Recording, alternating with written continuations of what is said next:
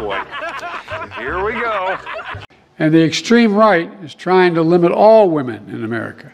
You can wake a man up in the middle of the night and tell him he's rich, but you can't wake him up and tell him he's poor.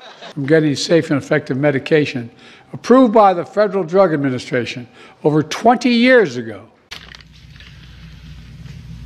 No, I don't know what I expected. based on the FDA's independent expert judgment.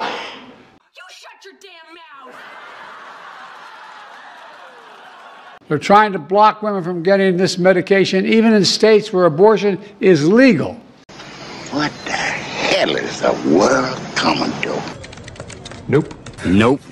And on top of all of that, if you live in a state where you cannot get this care you need, so dumb. You are really dumb. For real.